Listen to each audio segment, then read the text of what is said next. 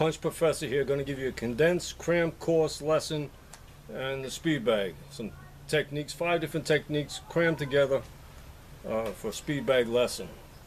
Five techniques will be what I call the basic rhythm. The first technique, basic, basic rhythm. Second technique, fist roll. Third technique will be linking.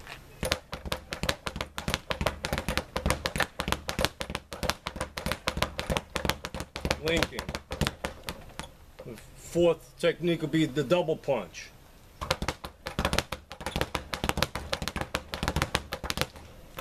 And the last technique would be uh, pinning, also known as trapping.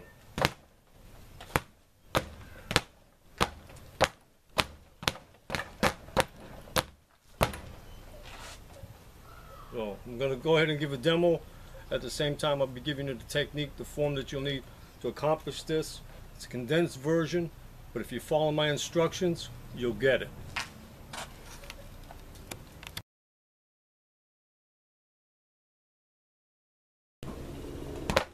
Basic rhythm.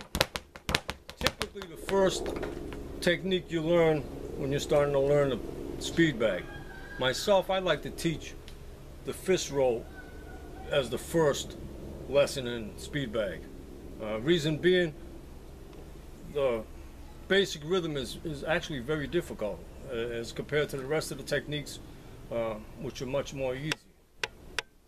I think that of all the techniques, I believe the, the fist roll is probably the easiest if you follow the instructions. Difficult as can be if you don't follow the instructions to the T. First instructions, elbows are up. This is the fundamentals. Later, as you become more um, more adept at, at this, these techniques, you'll, you'll bring your elbows down in a more of a fighting uh, position. But for right now, fist roll, elbows up. Second thing, I get a slight bend. I'm exaggerating now so you can see what I'm doing. I don't want my my arms out in front of me like this, hitting the bag and the fist roll. I don't want that because the, the bag will run down my arm and get away from me. I'm actually trapping the bag in. Now this is exaggerated, I'm not that much, I'm just barely to where the, it's not going to roll down my arms. Next thing is, I'm not wanting to hit the bag down the bottom. I'm actually a little bit above halfway up the bag is where I want to get it.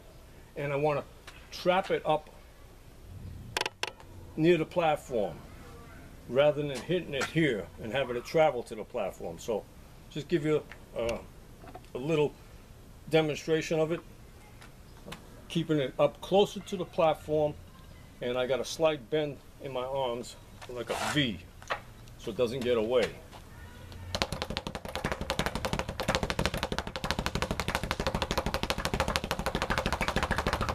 Now one of the main instructions you want to follow is this. You want knuckles to travel over knuckles, not knuckles over my wrist. I've got knuckles going over the top of my knuckles. Okay? Another thing is this. Typically, as a person goes faster, he makes his rotations bigger. And he doesn't get back to the bag on time because the bag is traveling the same timing each time it does anything. It's traveling the same timing. if you travel at a different timing, in other words, I'm small and my fists are tight right knuckles over knuckles. If I try to go faster and get bigger, I'm not going to get back to that bag. The timing is going to be different. So the, the thing you want to do is you want to keep a tight fist roll. In fact, if you do mess up, it's because your hands are clacking. That shows that you're actually determined to keep your hands tight. Okay? Very tight. To where when you mess up, the good mess up is that your hands hit each other. Okay? One more time, a little demonstration. Got it trapped up to the platform. I got a slight bend in my arms. Bag can't hit me because my hands are in front of it. It can't get past my hands. So I don't have to worry about that.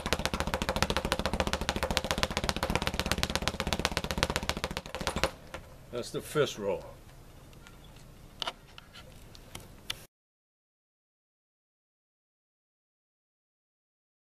second technique from the Jungle Camp Gym by the Punch Professor is what they call basic rhythm. I call it bicycle chain. Basic rhythm.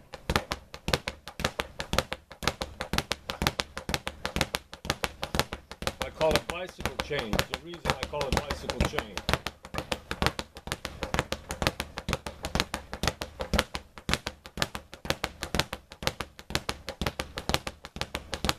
Try to keep my other hand up as I'm hitting with my left. I got my right hand up.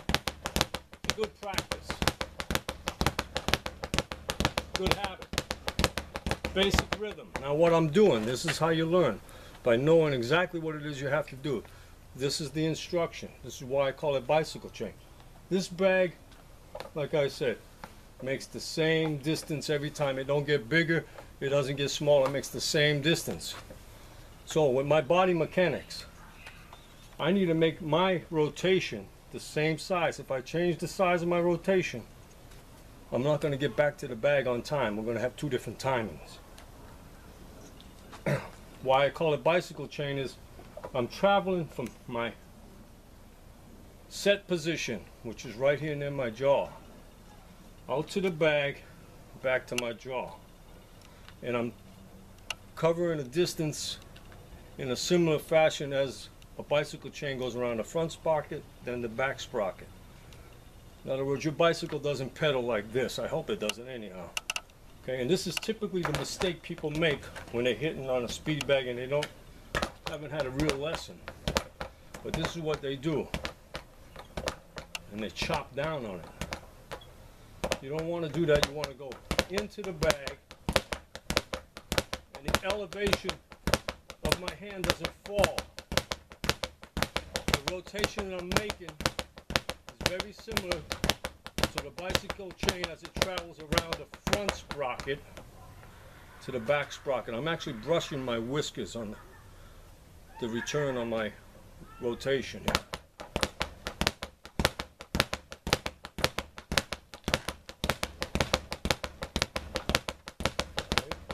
Keeping the elbows up. That's the fundamentals. Like I said, as you get more proficient, you can bring them down in such a way that you're more in a boxing stance. Actually, I'm punching them with the knuckles now, than the side of the hand. Bicycle chain, basic rhythm, you hit the bag with the side of your hand. And the fundamental of the exercise. In the advanced, you can hit it with your knuckles. That's basic rhythm, bicycle chain. Practice it as it's been taught, and you'll get it.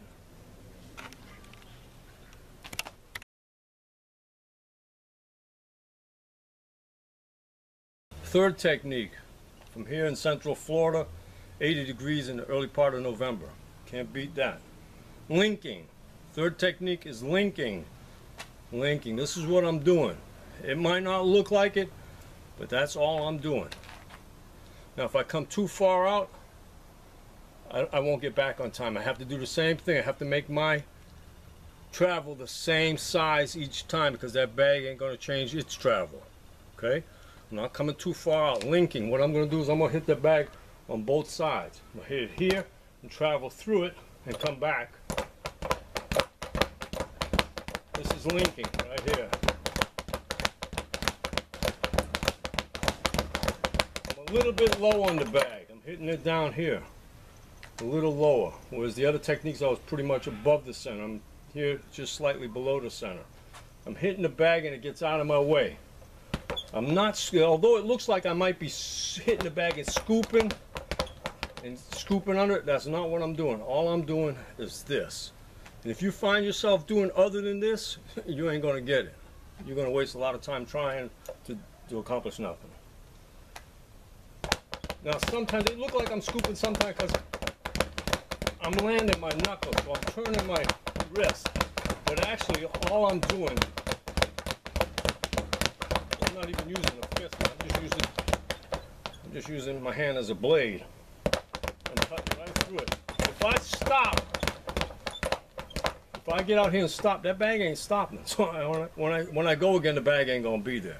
You got to drive through it and come back. And all these things that you learn, You want to learn them very slow and easy, and don't get disappointed. Challenge yourself. In other words, I accomplished three with my left hand. I'm going to try to beat three. This is my challenge.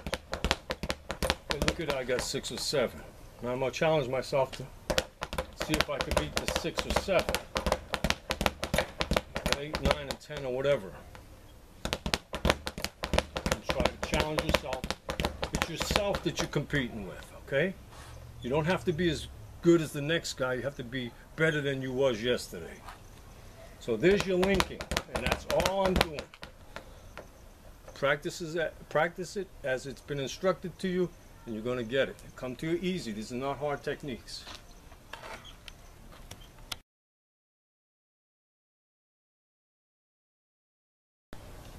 Fourth technique in this condensed cram course speed bag lesson is the double punch. A lot of these techniques look harder than they are, but if you follow the instructions as they're dictated towards you, you're going to get these techniques. They're not that hard. Double punch. One of the keys is I'm going to punch one punch, but two hands. See here what I'm doing? This is actually a technique that can be used in a, in a fight. Whereas I'm knocking the opponent's guard with the first and hitting them with a punch with the second. Same thing coming back. Two fists, one punch. Two fists, one punch. Myself, when I learned, I made it in my mind that my fists both were, my both my hands was holding a, a rod, and they they rode together. Okay. They rode together. This rod holding them. Now, another thing that you've got to do, you've got to have the rear hand. In this case, is my right hand the rear hand rides in above the, the frontal hand. The, the, the hand that's out in front is lower than the hand in the back. And it's going to hit like this. The first one's going to hit the bag and drive it into the platform. And the second one's just going to be there to catch it when it comes back. You just got to hit it good with the first hand. Keep them connected. And second hand catches the rebound. See that? I'll do it easy, see? Notice here what happened here also. Two hands hit the bag. They rode together as one. The second hand was higher. Now the second hand, which is my right, winds up out in front. It's out in front now. This is a little more advanced. So when I come back, my right hand's the front, my left is higher.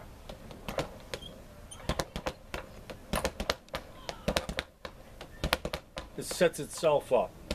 Right hand's in front. Left hand's in front. Now you don't have to do, this is more advanced going back and forth as I'm doing now. But what I would do if I was you and trying to learn it, this is how I'd practice it. Here's the bag coming to me, it's bouncing, it's coming to me, and I catch it with a double punch. Okay? You start getting that.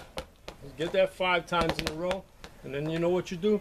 Switch over to the other side and try to get it six times in a row. You don't want to throw, it's not one, two. It's not one, two. They're riding together. Second hand higher than the first. Follow the instructions.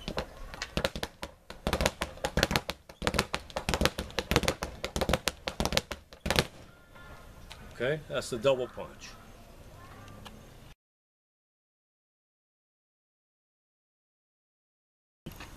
The fifth and final lesson in this cram course speed bag lesson is what I call pinning or trapping.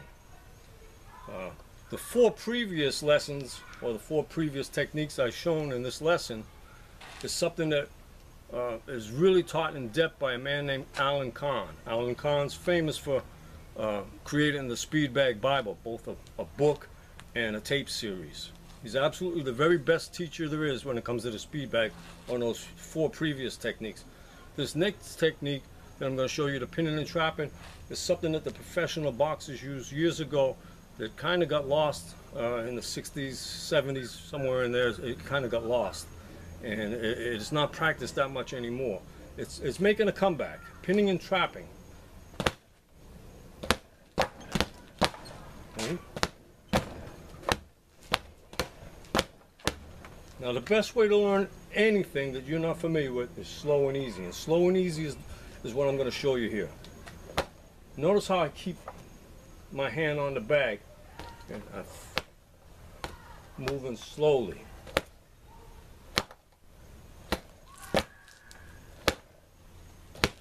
Okay. Now I'm also I'm not hitting the bag down here. I'm catching it up near the top of the bag. And I'm catching it up to the platform. I actually don't want to hit the bag here and drive it up to the platform, but rather I'd like to catch the bag as it's going to the platform and help it get there a little quicker. Alright? Best way to learn it though, slow and easy.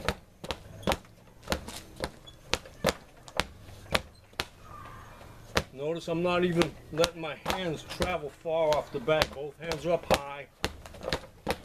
Now I can start coming away because I'm more advanced.